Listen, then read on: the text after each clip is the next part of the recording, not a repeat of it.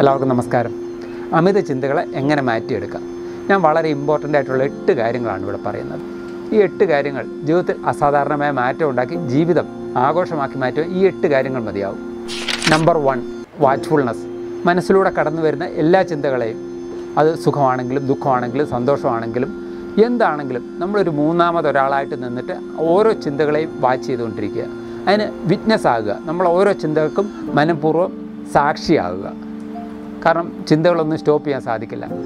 ഓരോ ചിന്തകളും നമ്മൾ സാക്ഷിയായാൽ അതായത് ബോധപൂർവം ശ്രദ്ധിച്ചുകൊണ്ടിരുന്നു കഴിഞ്ഞാൽ കാലക്രമേണ നമ്മുടെ ഉള്ളിലൊരു അവബോധം സൃഷ്ടിച്ചെടുക്കാൻ സാധിക്കും. ഇങ്ങനൊരു അവബോധം സൃഷ്ടിച്ചെടുത്തു കഴിഞ്ഞാൽ നമുക്ക് മനസ്സിലാവും ഏതാണ്ട് എയ്റ്റി ടു നയന്റി പെർസെന്റ് ചിന്തകളും അനാവശ്യമായുള്ള ചിന്തകളാണെന്ന്. അങ്ങനെ കാലക്രമേണ നമുക്കൊരു ബോധം ഉണ്ടാക്കി ആ ചിന്തകളെ കാലക്രമേണ കുറയ്ക്കാൻ സാധിക്കും. Number two the power of now അതായത് ഈ നിമിഷം വർത്തമാന നിമിഷത്തിലേക്ക് ശ്രദ്ധയെ കേന്ദ്രീകരിക്കുക. കൈകാലുകളുടെ ചലനം സ്പർശം ശബ്ദം രുചി ഗന്ധം. നമ്മൾ കഴിക്കുന്ന ഭക്ഷണവും ബോധപൂർവം ഇറക്കുക ചവയ്ക്കുക. ഇതൊക്കെ നമ്മുടെ അവയർനെസ് കൂട്ടിയെടുക്കാൻ സഹായിക്കും. നമ്മൾ ചെയ്യുന്ന എല്ലാ പ്രവൃത്തിയും പരിപൂർണ ശ്രദ്ധയോടെ ചെയ്തു തുടങ്ങിയാൽ ആ ചെയ്യുന്ന പ്രവൃത്തിയുടെ ക്വാളിറ്റി വളരെയധികം കൂടുതലായിരിക്കും. അതായത് one time one job number three conscious breathing ഇത് മനസ്സിനെ ശാന്തമാക്കാൻ മാത്രമല്ല ഒട്ടനവധി മറ്റു ഗുണങ്ങളുമുള്ള ഒരു മെത്തേഡാണ് ബോധപൂർവം ശ്വസിക്കുക എന്നുള്ളത്. പ്രാണോർജം മൂക്കിലൂടെ ഉള്ളിലേക്ക് കടന്നു പോകുന്നതും ഉച്ഛാസവായു അതായത് കാർബൺ ഡയോക്സൈഡ് പുറത്തേക്ക് കടക്കുന്നതിനും നമ്മൾ പരിപൂർണ ശ്രദ്ധയോട് ചെയ്യുക. അല്പം ഡീപ്പായിട്ട് ബ്രത്ത് എടുത്തു കഴിഞ്ഞാൽ നമുക്ക് കൂടുതൽ അതിനകത്ത് ശ്രദ്ധ കേന്ദ്രീകരിക്കാൻ സാധിക്കും. നമ്മുടെ ചിന്തകളെ കുറയ്ക്കുവാൻ ഈ ഒരു കോൺഷ്യസ് ബ്രീത്തിങ് വളരെയധികം സഹായിക്കുന്നതാണ്.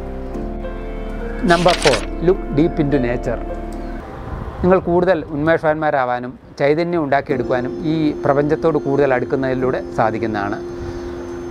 പുൽത്തട്ടിയിലോ പുൽപ്പായലോ അല്ലെങ്കിൽ വെറും നിലത്തോ അല്പനേരം കണ്ണു കണ്ണു അടച്ച് കിടക്കുക. നമ്മുടെ പരിപൂർണമായ ശ്രദ്ധ ശ്വാസത്തിലോ നമ്മുടെ ഉള്ളിൽ നടക്കുന്ന ഓരോ സംവേദനങ്ങളെയും ശ്രദ്ധയോടെ നിരീക്ഷിച്ചുകൊണ്ടിരിക്കുക. കുളിക്കുന്ന സമയത്ത് ജലം നമ്മുടെ ശരീരത്തെ കുളിർപ്പിക്കുന്നത് അനുഭവിക്കുക അറിയുക. സോപ്പ് തേക്കുന്നത് ആ ഗന്ധം നമ്മൾ അറിയുക നമ്മുടെ കൈകൾ നമ്മുടെ ശരീരത്തെ ടച്ച് ചെയ്യുന്നത് അനുഭവിക്കുക അറിയുക.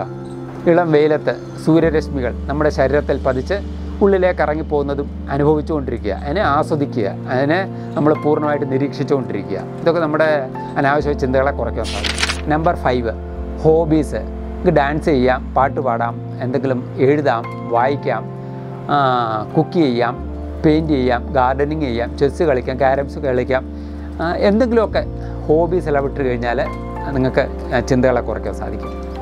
പുതിയ കാര്യങ്ങൾ പഠിച്ചെടുക്കുക. കാരണം നമ്മുടെ ബോധം പുതിയതുമായിട്ട് ബന്ധപ്പെട്ടാണ്. അപ്പോൾ പുതിയ കാര്യങ്ങൾ അറിയാനും പുതിയ കാര്യങ്ങളെ മനസ്സിലാക്കാനും ഒക്കെ നമുക്ക് മനസ്സ് ഒരു കൂടുതൽ ഇൻട്രസ്റ്റ് കാണിക്കും.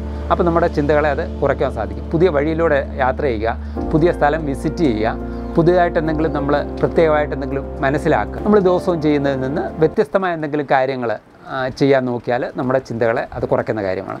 ഉദാഹരണം നമ്മൾ ദിവസവും വലത് കൈ വെച്ച് ബ്രഷ് ചെയ്യുന്നെങ്കിൽ ഇടയ്ക്ക് ഇടത് കൈ വെച്ച് ബ്രഷ് ചെയ്യുക. അപ്പോൾ നമ്മുടെ ബോധം അങ്ങോട്ട് പോകും. വാച്ച് ദിവസവും ഇടത് കൈയിൽ കെട്ടുന്നെങ്കിൽ വലത് കൈ കെട്ടാവുന്നതാണ്. ആ ബോധത്തിന് ചെറിയ വ്യത്യാസം വരും. അതൊക്കെ നമ്മുടെ ചിന്തകളെ കുറയ്ക്കുന്ന കാര്യങ്ങളാണ്. നമ്പർ സിക്സ് നെഗറ്റിവിറ്റി കൂടുതൽ കാര്യങ്ങളും നെഗറ്റീവായിട്ട് സംസാരിക്കുന്നവരുമായിട്ടുള്ള ബന്ധം കുറയ്ക്കുക. മീഡിയ വാർത്തകൾ അല്ലെങ്കിൽ ഫേസ്ബുക്കിലോ വാട്സപ്പിലോ ഒക്കെ കൂടുതൽ നെഗറ്റീവായിട്ടുള്ള കാര്യങ്ങൾ വരുന്നതൊക്കെ അവോയ്ഡ് ചെയ്യുക. കാരണം അത് നമ്മുടെ ചിന്തകളെ സാരമായിട്ട് ബാധിക്കും. നമ്പർ സെവൻ ഗ്രാറ്റിറ്റ്യൂഡ് ലഭിച്ചതിനോടൊക്കെ നമുക്കൊരു കൃതജ്ഞത ഉണ്ടായിരിക്കണം നമുക്ക് എന്തെല്ലാം കിട്ടിയിട്ടുണ്ട്? അതിനെല്ലാം നമ്മൾ ഒരു സന്തോഷം നമ്മൾ കണ്ടെത്താൻ ശ്രമിക്കണം. കിട്ടാത്തതിനെ ഓർത്ത് അസ്വസ്ഥരാവാതിരിക്കുക. Number eight yoga meditation exercise prayer ഇവയൊക്കെ നമ്മുടെ ചിന്തകളെ കുറയ്ക്കാൻ പറ്റിയ കാര്യങ്ങളാണ്. സ്വയം സ്നേഹിച്ചു തുടങ്ങിയാൽ ഈ ലോകത്തെ മുഴുവൻ സ്നേഹിക്കുന്നതിന് യാതൊരു ബുദ്ധിമുട്ടും ഉണ്ടാവില്ല. ആ സ്വയം തിരിച്ചറിവ് പരമാത്മാവിനെ തിരിച്ചറിയലാണ്.